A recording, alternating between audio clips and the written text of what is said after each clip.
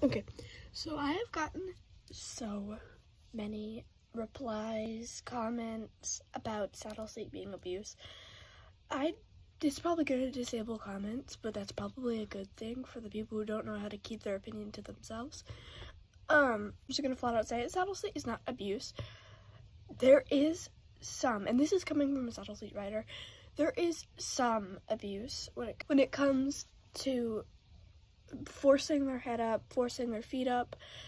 But most saddlebreds have a natural gait, and like an Arabian can be trained to step high or and keep his head up.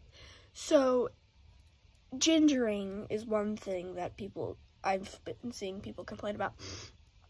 It's not one of the bigger problems is what I mean. That's really horrible when people do it because it forces their tail up and it doesn't even look that pretty most of the time.